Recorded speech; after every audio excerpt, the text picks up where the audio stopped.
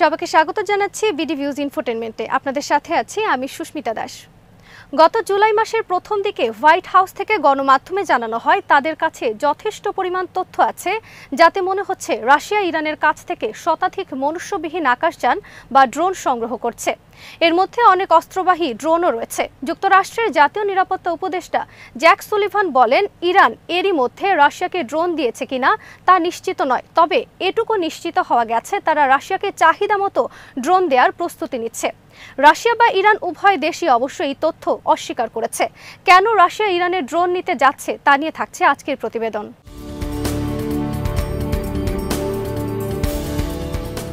President পুতিনের সাম্প্রতিক Iran সফরকালে ইরানের ড্রোন নেয়ার বিষয়ে কোনো আলোচনা হয়নি বলে মস্কো এবং তেহরানের তরফ থেকে জানানো হয়েছে।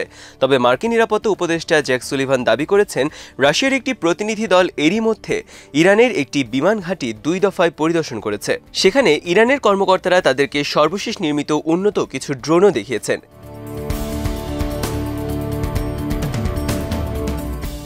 এই মুহূর্তে রাশিয়ার জন্য ড্রোন অনেক বেশি প্রয়োজন। ইউক্রেন অভিযান পরিচালনা করতে গিয়ে রাশিয়ার উল্লেখযোগ্য সংখ্যক ড্রোন ভূপাতিত হয়েছে এবং ধ্বংস হয়েছে। সেই শূন্যস্থান পূরণ করার জন্য রাশিয়া তাদের আন্তর্জাতিক এবং আঞ্চলিক সহযোগী রাষ্ট্রগুলোর কাছে সহায়তা চেয়েছে। মস্কোর এখন সশস্ত্র ড্রোনের বেশি প্রয়োজন, বিশেষ করে তুরস্কের বেইরাক্তার টিবি টু ড্রোনের মতো ড্রোন তাদের দরকার। কেননা, ইউক্রেন এরই মধ্যে এই ড্রোন ব্যবহার করে বেশ সুফল পাচ্ছে। রাশিয়া নিজেও নিয়মিতভাবে ড্রোন তৈরি করে আসছে, তবে বর্তমানে ইউক্রেন যুদ্ধের কারণে যেভাবে ড্রোনের চাহিদা বাড়ছে শুধু অভ্যন্তরীণভাবে ড্রোন নির্মাণ করে সেই চাহিদা পূরণ করা বেশ কঠিন। তাছাড়া সশস্ত্র ড্রোন তৈরিতে রাশিয়ার এখন কিছুটা সীমাবদ্ধতাও রয়েছে।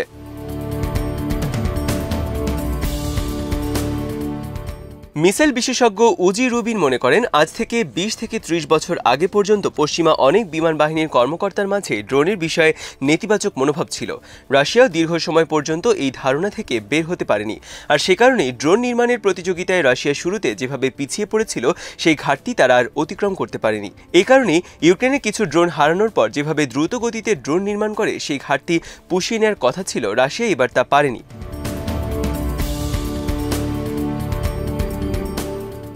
লন্ডন স্কুল অফ ইকোনমিক্সের ফেলো এবং ব্রিটিশ পার্লামেন্টের all party parliamentary group on drones and modern কনফ্লিক্টসের senior adviser doctor James Rogers বলেন, এখনও পর্যন্ত যেসব তথ্য পাওয়া যাচ্ছে, তাতে বোঝা যাচ্ছে অরলান টেনের মতো রাশিয়ায় তৈরি ড্রোনগুলো ইউক্রেনে অভিযানে গোয়েন্দা বৃত্তি নজরদারি, সামরিক শক্তি বৃদ্ধি এবং প্রতিপক্ষের টার্গেট নির্ণয়ের মতো কাজগুলো বেশ ভালোভাবে করতে পারছে।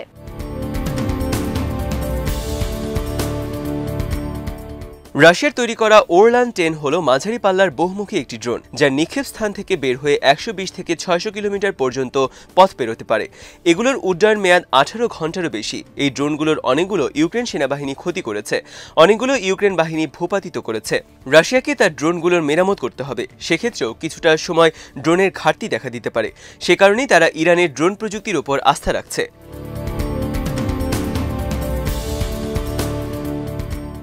যদিও রাশিয়া ফ্রন্টলাইনে তার আক্রমণ অনেকটাই শানিত করেছে এবং উন্নত আর্টিলারিকে কাজে লাগিয়ে দক্ষিণ এবং পূর্ব ইউক্রেনেও অনেকটা অগ্রসর হয়েছে।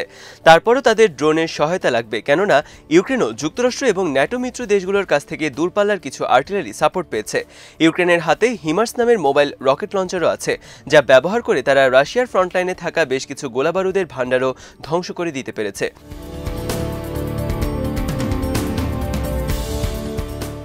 যেহেতু দুই পক্ষই আর্টিলারি কেন্দ্রিক সংখ্যা তীব্রতর করেছে, তাই সামরিক শক্তি পুনরায় বৃদ্ধির জন্য এবং সরাসরি হামলা করার জন্য ড্রোনের প্রয়োজন। ইউক্রেনকে যুক্তরাষ্ট্র এবং ন্যাটো দেশগুলো নিয়মিত ড্রোন সরবরাহ করে যাওয়ায় রাশিয়াকেও এখন কাউন্টার কৌশল হিসেবে ড্রোনের উপর নির্ভরতা বাড়াতে হচ্ছে। ইউক্রেনের ফ্রন্টলাইনে যুদ্ধের গতি প্রকৃতি যেভাবে দ্রুত পাল্টে যাচ্ছে, তাতে ইরানের সাথে রাশিয়ার ক্রমবর্ধমান ঘনিষ্ঠতায় বিস্মিত হওয়ার কিছু নেই। আর্মামেন্ট রিসার্চ সার্ভিসেস এর পরিচালক জেন জেন জোনাস বলেন, ইসরায়েলকে বাদ দিয়ে ইরানের দিকে রাশিয়া রাশিয়া ঝুঁকছে কারণ ইসরায়েলও রাশিয়ার বিরুদ্ধে জারি করেছে অবরোধ। রাশিয়ার সমরাস্ত্র পাঠাতে ইসরায়েল আগ্রহ দেখায়নি।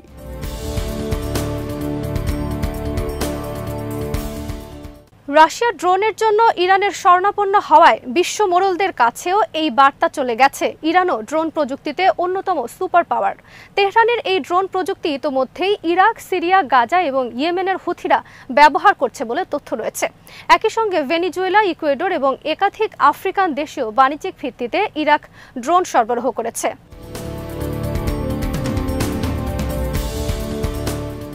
উপসাগরীয় অঞ্চলের প্রতিদ্বন্দ্বী দেশগুলো এবং ইসরায়েলকে মোকাবেলা করার জন্য তেহরান সবসময় বিমান প্রযুক্তি উন্নত করতে চেয়েছে।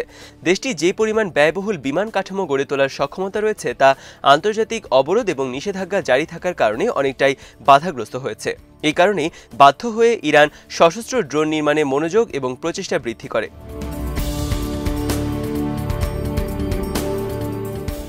জেনজেন জোনস মনে করেন, ইরানের ড্রোনগুলো মানের দিক থেকে পশ্চিমা ড্রোনের মতো ততটা উন্নত না হলেও রাশিয়ার বর্তমান ড্রোন চাহিদা সামরিক প্রয়োজনীয়তা অনেকটাই পূরণ করবে, কেননা রাশিয়ার নিজেদের ড্রোনও অনেক বেশি উন্নত। রুবিন অবশ্য ইরানের ড্রোনকে এগিয়ে রাখতে চান, তার মতে বিশ্ববাজারে ইরানের ড্রোনগুলোর যথেষ্ট চাহিদা রয়েছে। পশ্চিমা যে কোনো ড্রোন বা চীনা ড্রোনগুলোর সাথে ইরানি ড্রোন পাল্লা দিতে পারবে, তাই মস্কো যদি ইরানের কিছু ড্রোন হাতে পেয়ে যায়, তাহলে রাশিয়ার সামরিক ঘাটতি অনেকটাই পূরণ হবে, তাতে কোনো সন্দেহ নেই।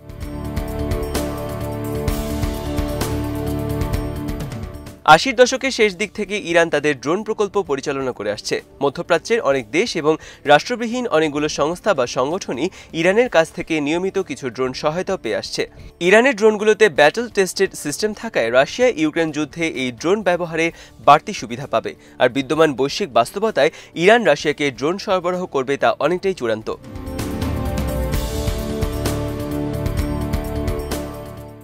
তেহরানের স্বল্প মূল্যে ড্রোনের আলাদা বাজার রয়েছে। ইরান নিজেও নানা ধরনের পরিস্থিতিতে এই ড্রোনগুলো ব্যবহার করে। স্বল্প মূল্যে ড্রোন খাতে বিশ্বের অল্প কিছু দেশের পৃথক শিল্পই গড়ে উঠেছে। ইরান এ দেশগুলোর মধ্যে অন্যতম। পশ্চিমা সংবাদ মাধ্যমগুলো জানিয়েছে, প্রাথমিকভাবে ইরান মোজাহির সিক্স এবং শাহেদ ওয়ান টোয়েন্টি নাইনের মতো ড্রোনগুলো রাশিয়ার কাছে হস্তান্তর করতে যাচ্ছে।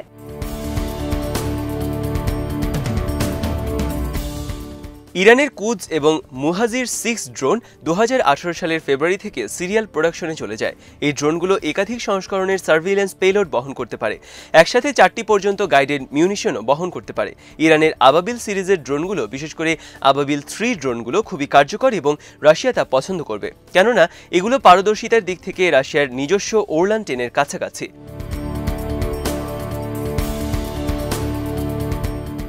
অন্যদিকে দ্বিপাক্ষিক সম্পর্কের দিক থেকে বিচার করলে ইরান থেকে ড্রোন পেলে মস্কোর সাথে তেহরানের দ্বিপাক্ষিক সম্পর্কের ক্ষেত্রে নতুন দিগন্তের উন্মোচন ঘটবে। দুই দেশই আন্তর্জাতিক বাধা ধরা নিয়মের বাহিরে থাকায় তেহরানের সাথে ইতিমধ্যে মস্কোর একটি ঘনিষ্ঠ সম্পর্ক তৈরি হয়েছে। আর তাই উভয় দেশের স্বার্থেই পারস্পরিক সহযোগিতা অব্যাহত রাখা প্রয়োজন। তাতে সম্পর্কের উষ্ণতা আরও বাড়বে।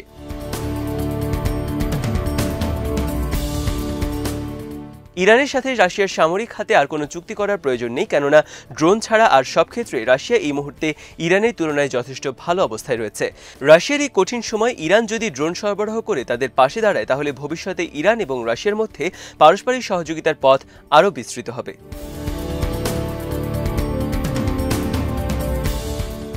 আজ এখানেই শেষ করছি। সমরাস্ত্র প্রতিরক্ষা ও কূটনীতির নানা তথ্য জানতে চোখ রাখুন বিডিভিউস ইনফোটেনমেন্টে চ্যানেলটি ভালো লাগলে সাবস্ক্রাইব করুন। সংযুক্ত থাকুন আমাদের ফেসবুক পেজে